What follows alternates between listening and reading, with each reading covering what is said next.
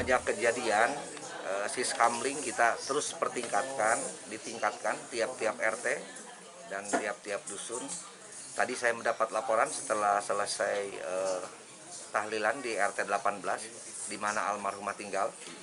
Ketua RT-nya melaporkan bahwa sudah tiga hari ini mereka meningkatkan si skamling eh, dengan eh, dua jam sekali mereka mengadakan keliling sampai dengan jam 4 subuh. Itu yang ada laporan dari RT kami. Sejauh ini keresahan dari masyarakat di eh, sekitaran TKP eh, gimana Pak? Sebenarnya maras- masyarakat itu eh, resahnya karena memang eh, pembunuh eh, pelaku pembunuhan ini belum tertangkap.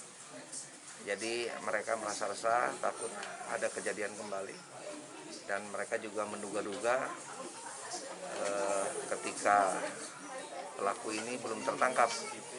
Jadi ada kekhawatiran saja.